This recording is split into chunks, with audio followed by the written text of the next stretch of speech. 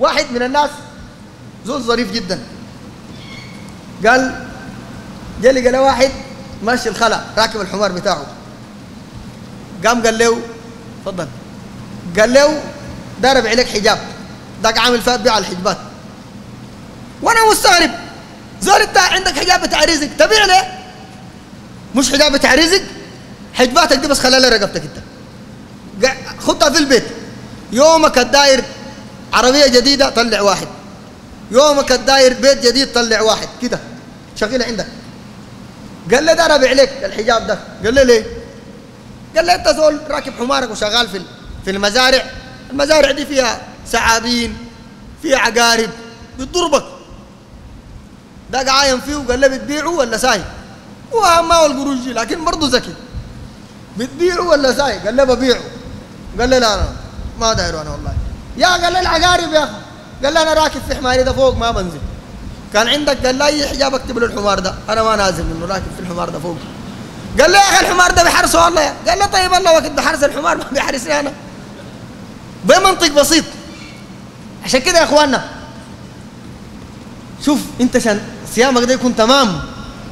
صيام نظيف. قال من لم يدع قول الزور. الكلام. اللي بخرب العقيدة.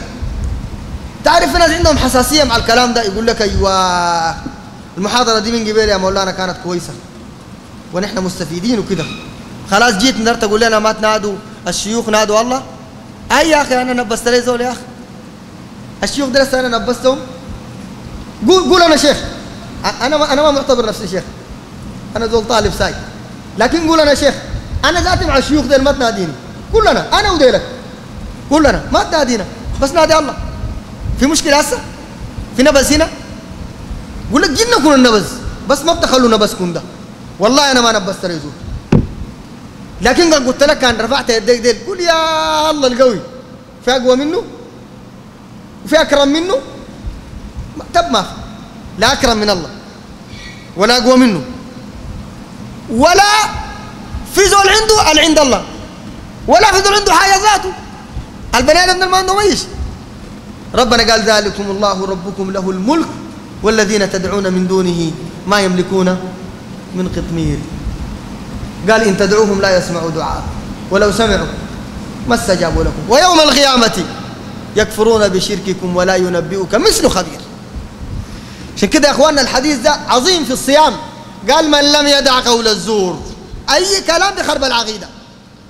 والعمل به والجهل فليس لله حاجة في أن يدع طعامه وشرابه. وصية القحطاني. بالله قولوا كل ما أنشدتم رحم الإله صداك يا قحطان